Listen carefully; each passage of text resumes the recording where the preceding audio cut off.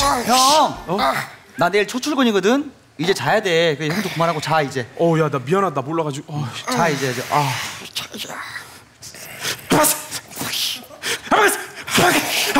형, 잘 때는 이러지 않기로 한 거 아니야?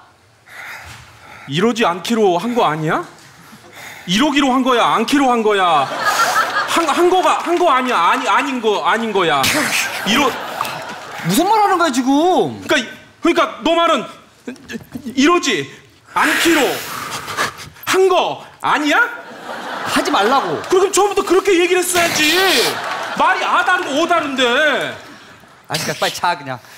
야, 나 이 운동회 때 배고프니까 라면 하나만 끓여줘. 형이 끓여 먹어. 아, 라면 하나만 끓여줘.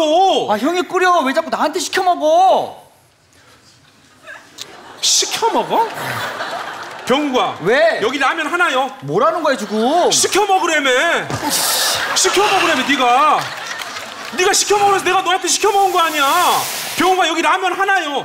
그냥 네가 끓여 먹으라고. 아그 소리였어? 나는 청유형 명령문인 줄 알았지. 형 제발 형이면은 형답게 행동해. 나 나 나답게 행동하라고? 그래. 미안하다. 사실 형으로서 동생 이해도 못 해주고 좀 내가 좀 심했지. 미안하다. 내 말이 야 내가 한 말인데 왜 네 말이라고 그래? 내가 한 말이잖아. 내가 한 말 내 구강 구조에서 나온 말인데 내 my word 내 말인데 왜 네 말을 마치 인용한 것처럼 네 말이라고 그래?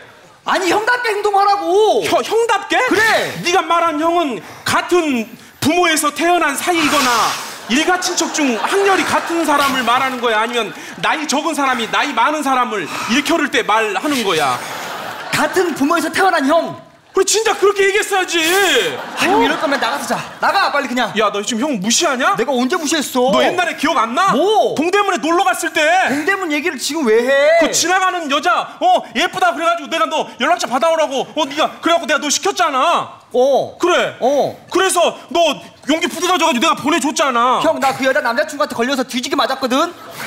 아 그래서 그 여자가 합의 본다고 너한테 연락처 줬잖아 너 누구 때문에 그 여자 연락처 받았어?